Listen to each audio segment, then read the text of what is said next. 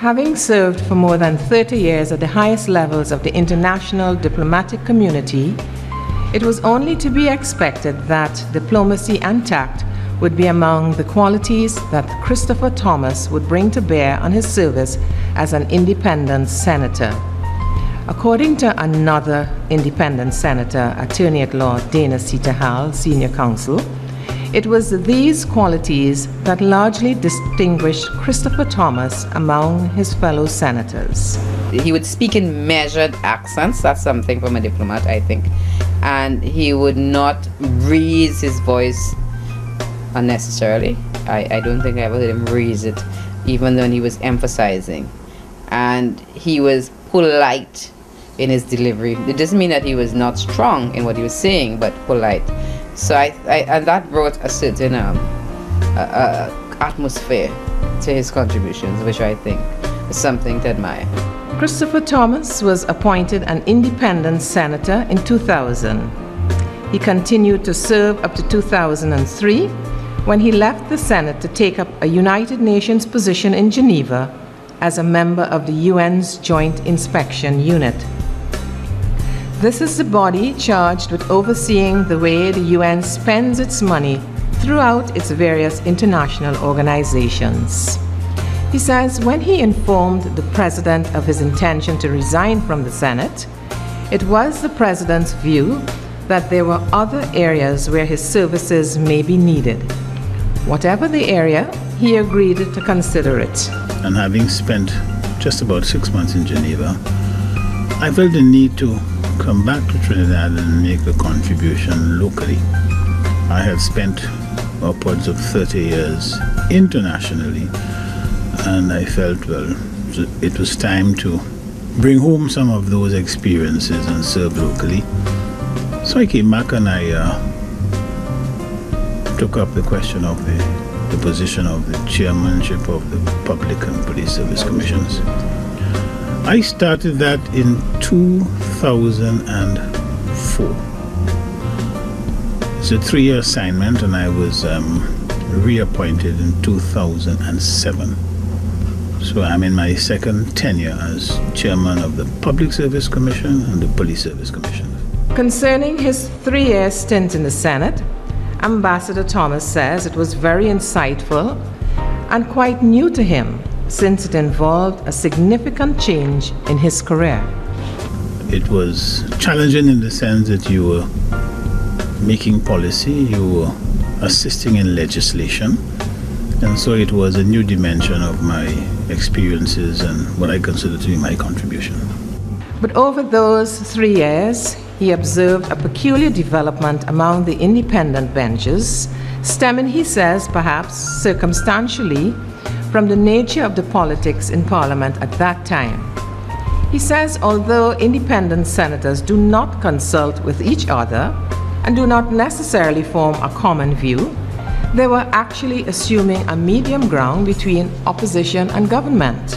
And in some cases, we were actually, without realizing it, behaving like an opposition when the, the opposition itself had refused to participate. So that in fact, in getting to decisions, it was largely the view of the independent senators that formed changes and amendments to the legislation that was proposed. He says he could recall two such occasions one in relation to the introduction of an aviation bill, and the other in respect of constitutional reform. The aviation bill was introduced by the then Minister of Works and Transport, Jearlean John, and Ambassador Thomas says he did not like too much how it was framed. I thought it smacked too much of a foreign importation of a bill without really adjusting it to local conditions local requirements. And on that occasion, I spoke first, I believe, as an independent senator and I outlined everything that was wrong with it, that it certainly did not address the local situation. And um, she got up after and said that the government had decided to withdraw the bill. And the bill was withdrawn for further adjustments and for further reading. At the, the at the luncheon interval, I said to her, the afternoon was the recess, I said to her, well, why did you withdraw the bill that quickly? She says, because what you were saying made sense. And in fact, I was only given this bill to read this morning. If I can, I didn't, I had nothing to do with the input in the bill. This is what I was given to read, and I was reading the bill. And as you spoke, I realized that you were saying so many things that could have been introduced into the bill to change it, and so we're going to do that. And they brought back a changed bill. On the question of constitutional reform, Ambassador Thomas recalls that in his contribution in the Senate, he emphasized the question of the maturity that was necessary. I made the point that it is not only reform that is needed. In fact, even without reform, if we had a certain greater maturity in the way we worked in Parliament and in the Senate, then we will find that things would work better for the country. He says he cited one example relating to the no vote campaign by the opposition in the 1971 general elections. The ruling PNM government, led by the late Prime Minister Dr. Eric Williams, won all 36 seats in Parliament, resulting in what was not so much a crisis as an unprecedented situation. Ambassador Thomas was then a young diplomat in Caracas, and the government directed its various missions to consult with persons abroad and communicate to the government what they felt should happen in this unprecedented situation. And I did my consultation, and when I went to the, the British embassy, my counterpart says to me, Chris, this will never happen in the United Kingdom. Because in the United Kingdom, our opposition is regarded as Her Majesty's loyal opposition. They consider that they have a role to play at all times. Uh, and therefore, they will always vote, they will always participate. What you have done is you have inherited a constitution without a culture. And that was the main important point. Unless you can, unless you can mature that culture to the point where people understand that whether opposition or government, they have a role to perform. In the construct of governance, they have a role to perform.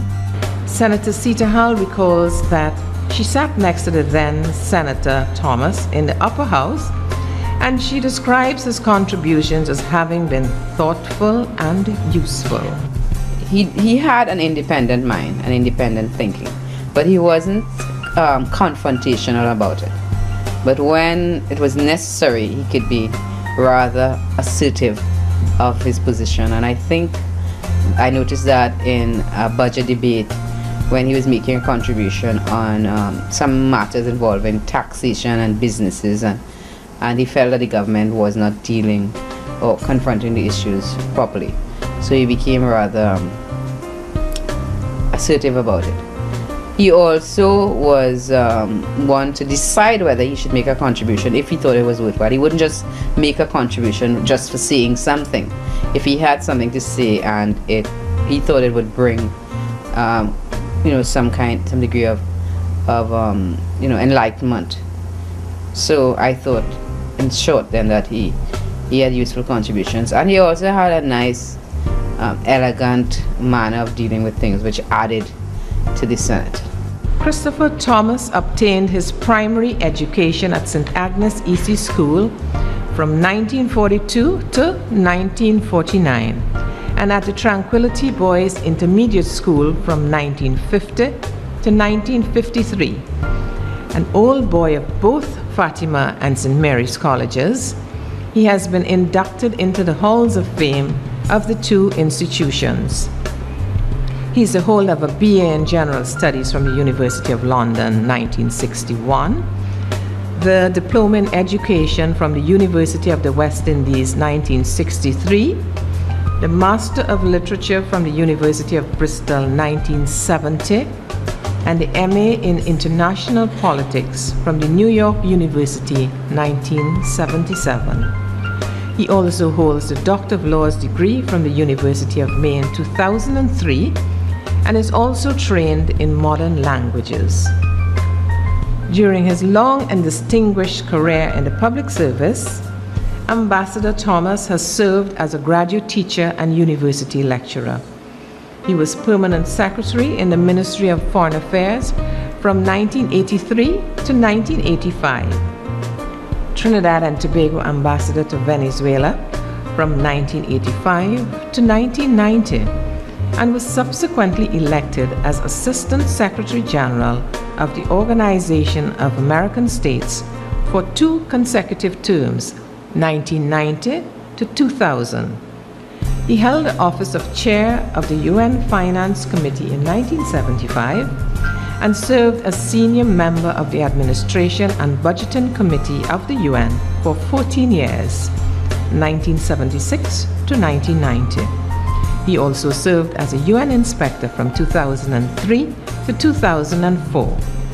Although he is no longer part of the diplomatic community, so significant were his achievements as a diplomat that Christopher Thomas is still recognized and addressed as Ambassador Thomas.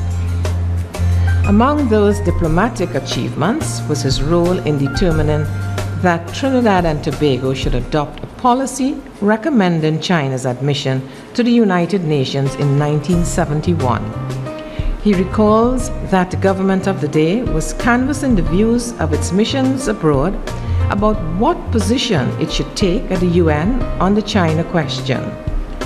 At the Trinidad and Tobago Embassy in Caracas, the ambassador was absent, and the responsibility fell to the young diplomat Thomas to do the necessary research and come up with the paper which he submitted to the government. And I was called up about uh, two weeks after by the permanent secretary at the time and said, I have some news for you. And I said, What is that? He says, Your paper on the China question is the one that the government has decided to be guided by, and they have sent that to New York as the policy that New York should take on the China question. I recommended that China should be admitted to the United Nations. So we voted yes on that occasion. As Assistant Secretary General of the OAS, and later as a member of a group of ex senators, Ambassador Thomas has visited Haiti on several occasions, seeking to resolve the difficult political, social, and economic issues facing that impoverished CARICOM country. Ambassador Thomas was awarded the Chaconia Medal of Gold in 1994 and the Gran Cordon del Libertador of Venezuela in 1990. He was also granted the first ever award for distinction in diplomatic representation by the Caribbean Studies Association in Washington in 1999. In addition to his renewed appointments as chairman of both the Police Service Commission and the Public Service Commission, he was appointed member of the Regional Judicial and Legal Services Commission in August 2004.